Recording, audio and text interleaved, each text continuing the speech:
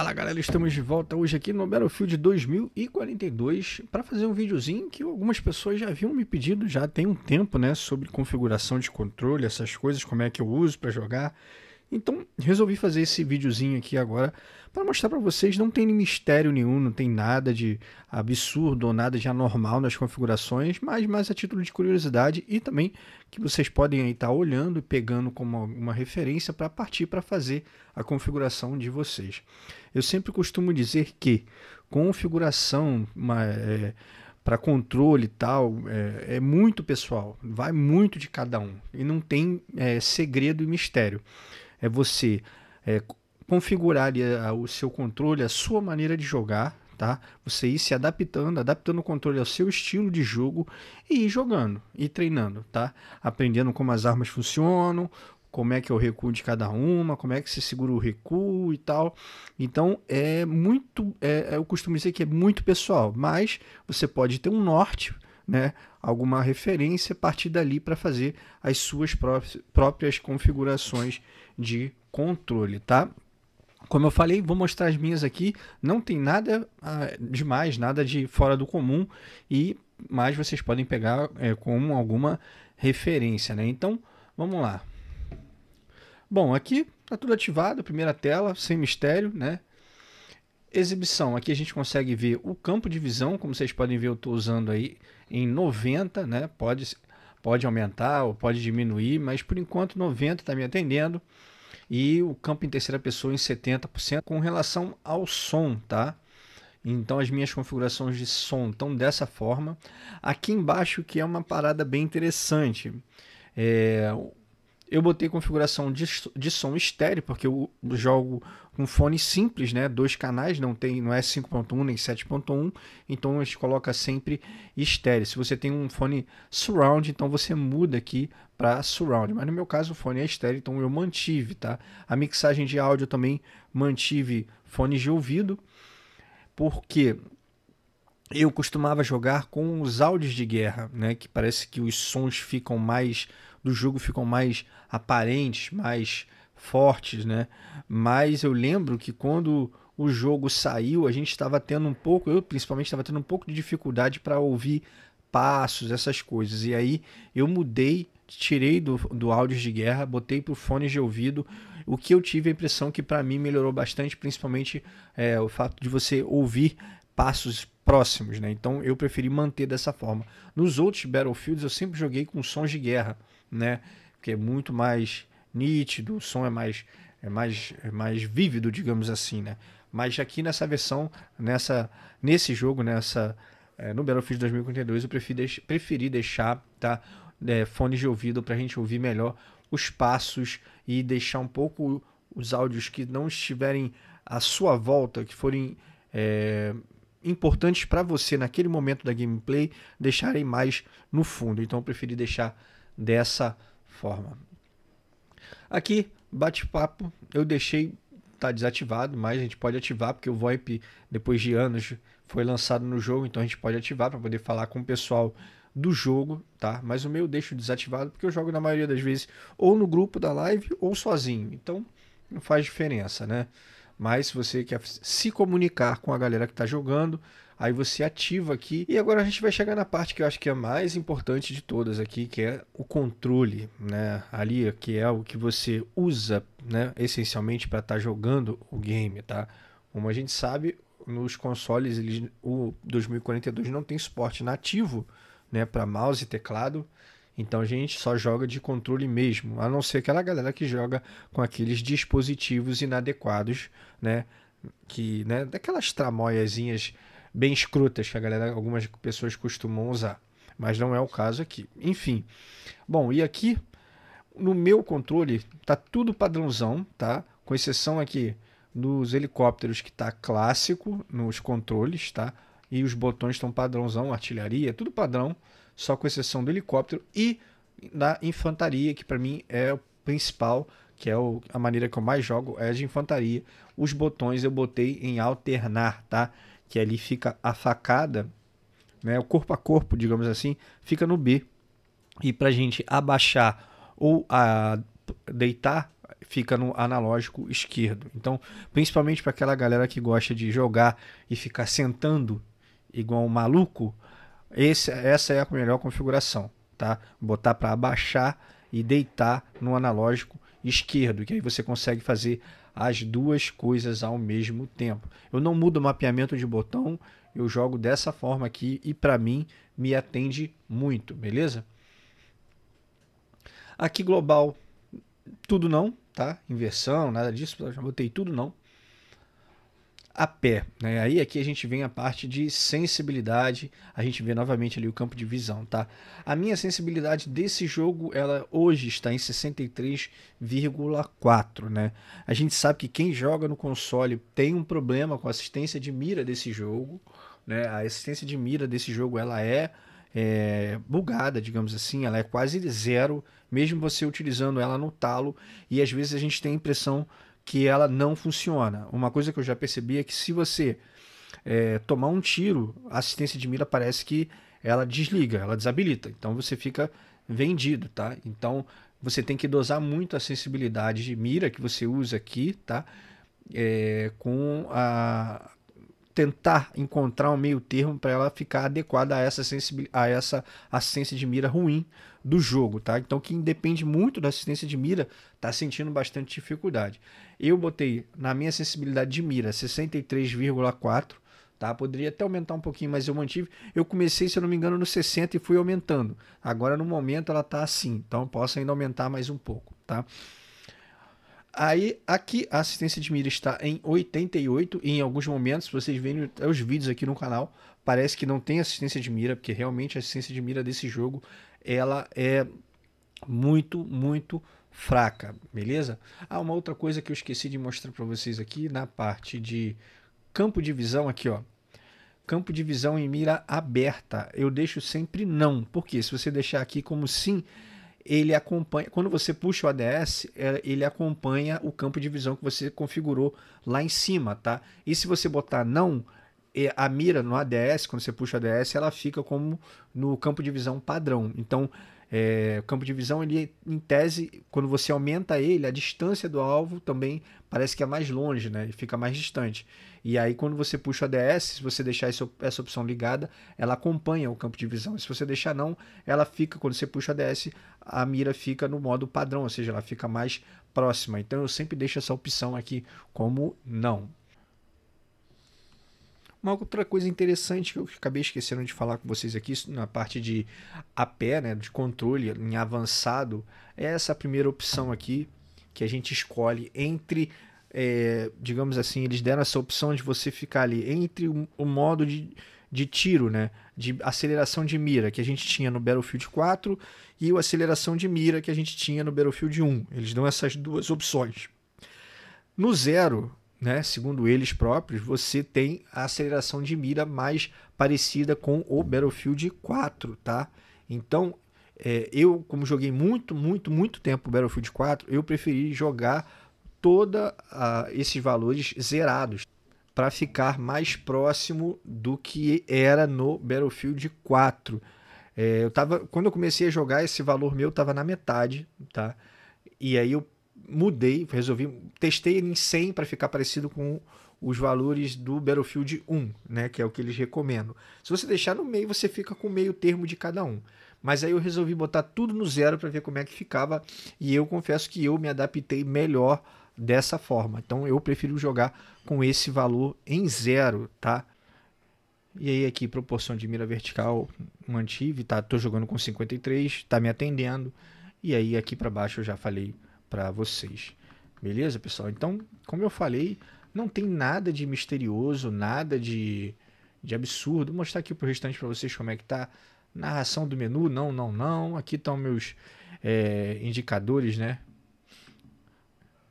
De equipe e tal. Eu mantive tudo padrãozão. Não mexi em nada. Ah, aqui, que a gente estava aqui falando da assistência de mira. Então, assistência de mira, tanto na assistência de mira do soldado quanto na assistência de zoom, tá? Eu tô deixando em 88%, tá? E aqui, campo de visão de mira aberta, eu tô botando não. Aqui com relação à mira, né, ainda zoom, né? é quando você puxa a mira. O meu eu não. Tem gente que gosta de jogar e de alternar. Eu prefiro. Ai caramba, mudei sem querer. Ah, nossa. Eu prefiro jogar manter, né? Que é quando você aperta, né? A, a mira você mantém a, a mira pressionada para ele ficar com a ADS na altura do, do rosto, tá? Aqui embaixo na mira estável também seleciono manter, tá? A mira estável aqui é quando você precisa segurar, né? Por exemplo, na joga de sniper que você tem que manter ali a respiração pressionando o analógico da esquerda, né? Então eu mantenho né, pressionado. E a sensibilidade do zoom aqui também, ela é, tá igual, ela fica igual ao valor que você seta aqui em cima. Então tá em 88, tá?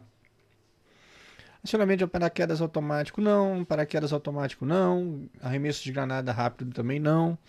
Aqui na interação para reanimar, eu boto manter, né, que você segura ali o botão de reanimar, né, para reviver os companheiros é, por completo. E se você soltar o botão, ele para de reanimar. Então isso daí também é bem importante, tá?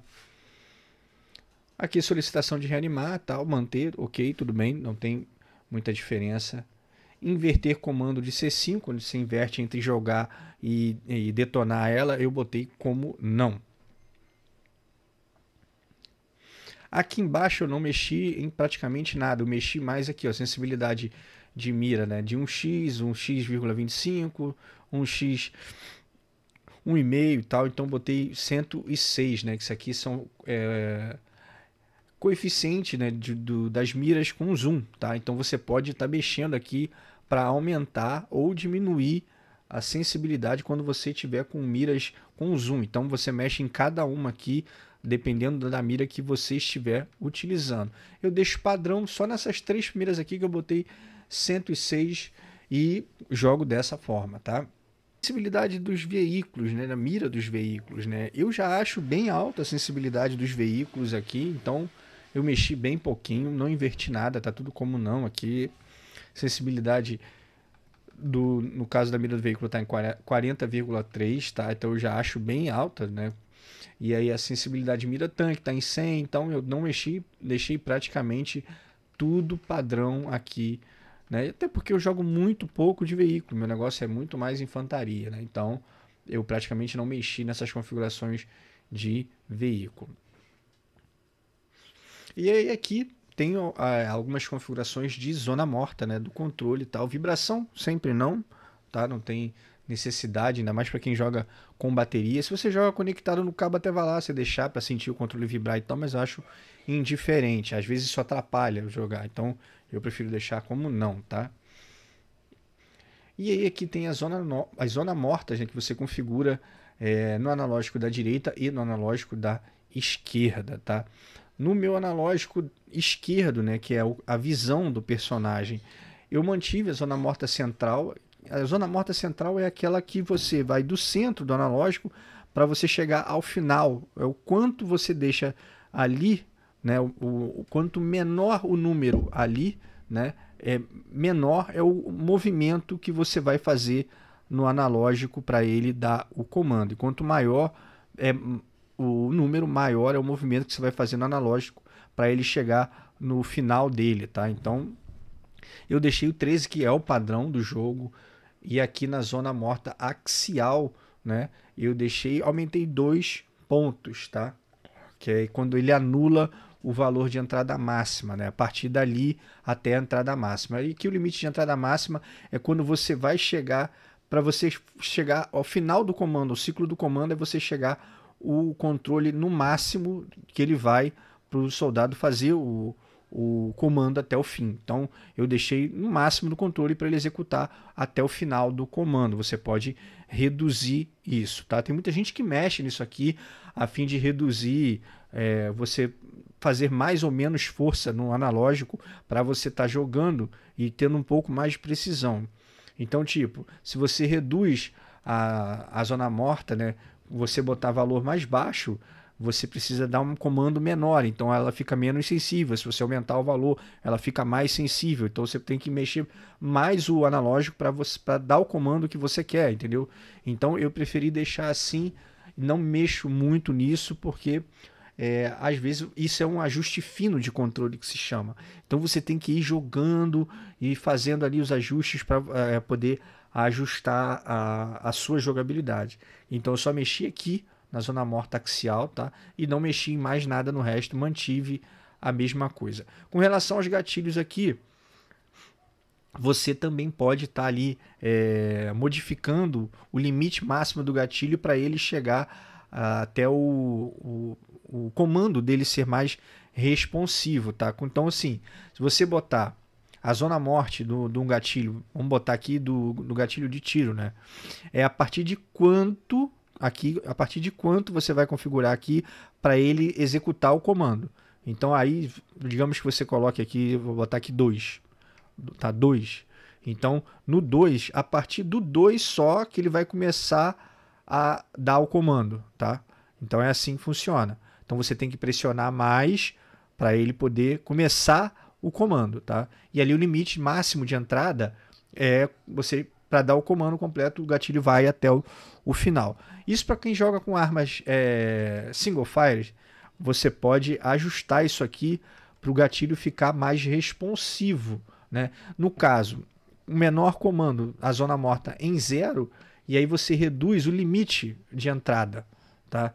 Que aí ele não precisa ir até o final para você é, fazer o comando completo. Então você reduz mais um pouco, que aí o gatilho fica um pouco mais rápido na, na hora de disparar. Você precisa chegar até o final para ele. Mas eu, na minha opinião, mesmo com as configurações padrão, o gatilho responde muito bem, tá? Você vê, você consegue atirar bem rápido com as armas ali, com o dedinho bem rápido, mesmo na configuração padrão dos gatilhos. Então não, não tem muito mistério. Como eu falei, configuração de jogo é algo muito pessoal. Então tem que ir testando e fazendo ali a, a, os testes né, para ver qual é o seu melhor, qual, em que configuração ela fica melhor para o seu estilo de jogo.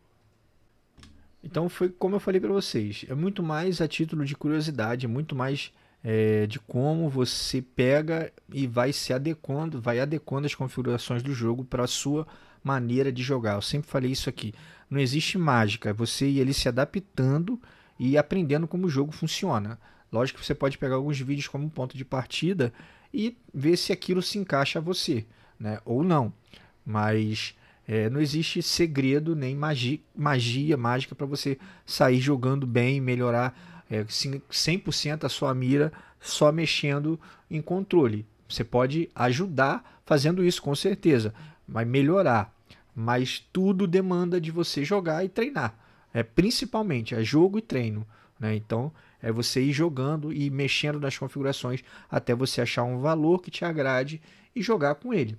E ali modificando aos poucos e tal. O ideal é sempre você fazer pequenas modificações e aí é, vai fazendo essas mudanças gradativamente. Nada muito brusco, né? Porque você aí você sente muito na mudança. Então você vai fazendo essas modificações, é igual a mudança de sensibilidade. Quando a gente vai aumentando a sensibilidade, a gente aumenta gradativamente. A gente começa do padrão, aí aumenta 5 pontos, joga, joga, joga, joga, joga, joga, depois aumenta mais um pouquinho até você chegar numa uma sensibilidade que te agrade. Né? Então isso é muito pessoal de cada um. Então você pode pegar o vídeo como ponto de partida e fazer as suas configurações para o seu estilo e a maneira como você joga. Tem gente que prefere o analógico mais responsivo, tem gente que prefere o analógico menos responsivo, né, que gosta de se movimentar mais rápido, que dá essa impressão, para falar a verdade, né, de ser mais rápido, você girar mais rápido, você ter um tempo de reação mais rápido. Tem gente que prefere jogar com o analógico não tão responsivo, mas ter um controle mais na mão do personagem. Quem gosta de ruxar geralmente tem um controle muito responsivo para ter movimentos mais rápidos, né? Poder se virar mais rápido, mirar, essas coisas. E quem joga um pouco mais defensivo gosta de ter mais a mira na mão, gosta de ter o personagem mais na mão. Então varia muito de como você é, se comporta durante a gameplay, de como você joga. E aí você vai adequando as configurações do controle ao seu estilo, beleza? Então era basicamente isso. Se curtiu o vídeo, não esquece de deixar um like, deixa um comentário aí para a gente estar tá conversando sobre. E se não for inscrito, se inscreve no canal, marca o sininho de notificações para receber avisos de novos vídeos. E é isso. Eu vou indo nessa. Valeu, um abraço, até mais. Falou, fui!